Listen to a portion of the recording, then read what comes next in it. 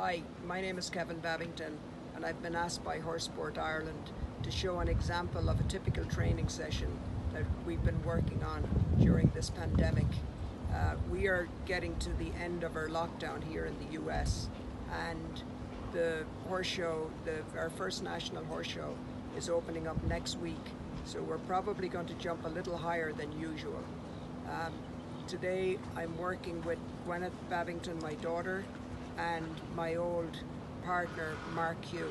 Gwyneth has taken over the ride on Mark Q since uh, my accident, but this was always in the works for her to take him over this year anyway. Uh, it just, we moved up a little bit quicker than we uh, planned on. Um, we're going to turn now to Gwyneth and Mark Q, and Gwyneth can tell you a little bit about her mileage, her unfortunately short time mileage in the saddle since uh, unfortunately she only had about four or five horse shows and then we got the lockdown. Hi, I'm Gwyneth and this is Mark. Um, I started riding Mark Q sometime around December and then I showed him for the first time like late January. Um, and we finished uh, at a meter 45 but now after the lockdown we're just getting back into that level and um, we're excited to show next week. So today uh, we're going to work on getting Mark Q to relax. Um, he is a fighter in the ring. Um, he loves his job. He loves to show.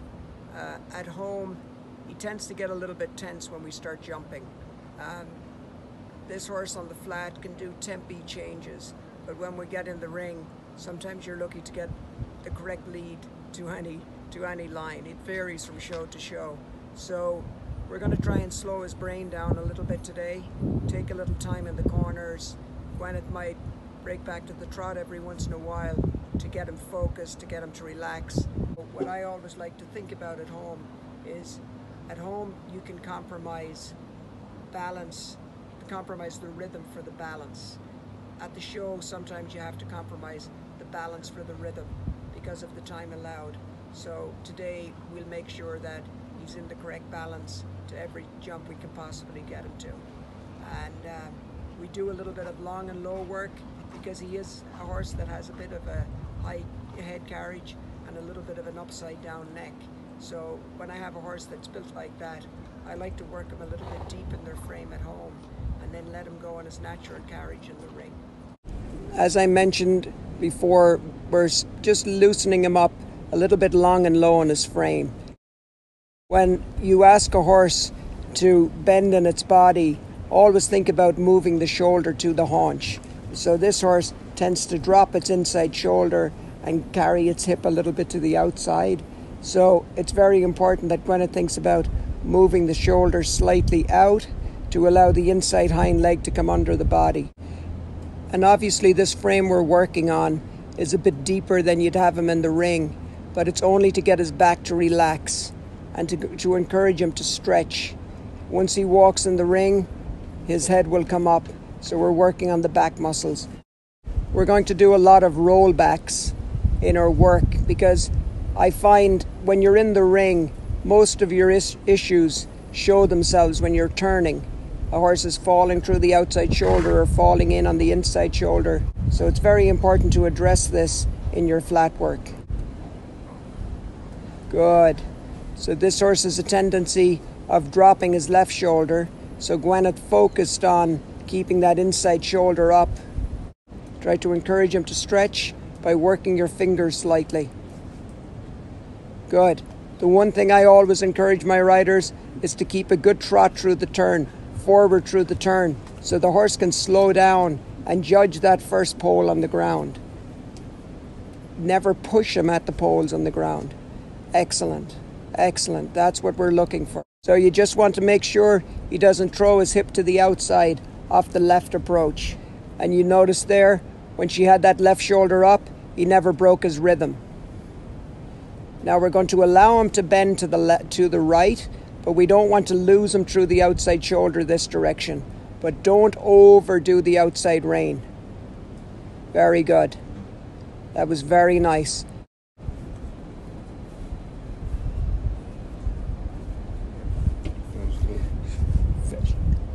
Very good, Gwyneth. Little inside flexion.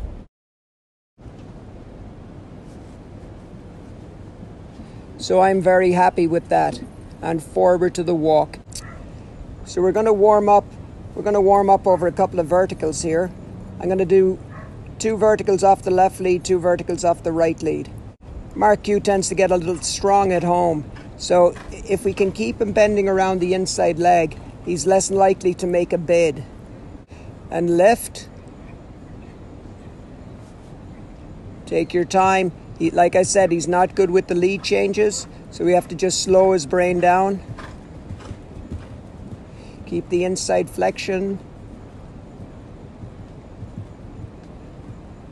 Good. So we're going to do that one more time. We're going to maybe see if we can let it flow a little more.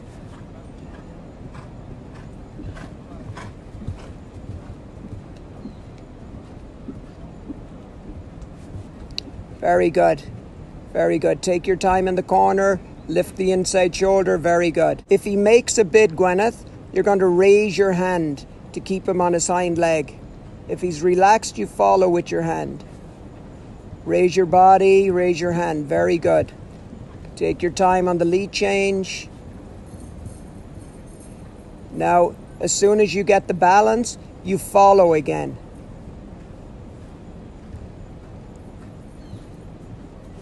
Very good. Very good. And he actually stayed quite level there because he got a little bit tense on the corner. We'll do it one more time. Raise the balance slightly. That's it. Good correction. Good correction. Lift. Take your time.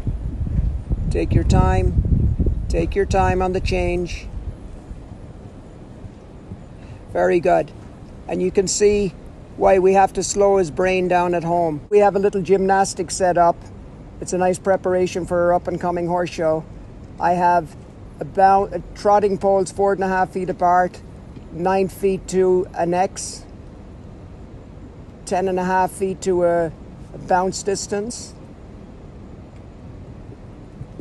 19 feet to a vertical, 21 to an oxer, and a steady three stride.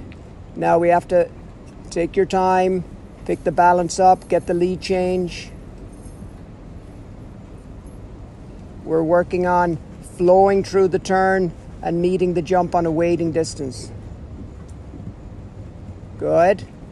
He likes to run in a little bit deep, but she was good in her upper body to make that correction. Keeping a little inside flexion here. Give him space. Good correction. And on when we're jumping into a short end of a ring, they're more likely to land a little bit disunited.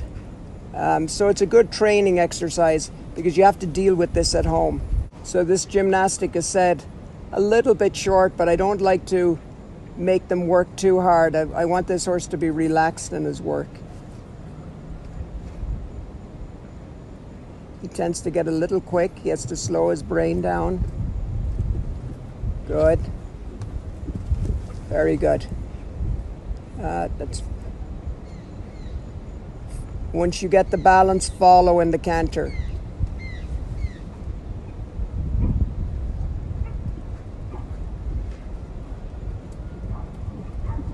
Good. Take your time. Step out. Very good. Keep a little inside flexion. Good. Lift.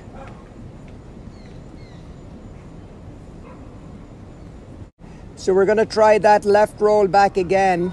So we're, what we're working on now is making sure he doesn't drop his inside shoulder. So we have to follow a little with the outside rein. Give him space. Good. So even trying to give this horse space, he still wants to run in a little bit deep, but I'm quite happy with that. Very good. And be disciplined into the downward transition.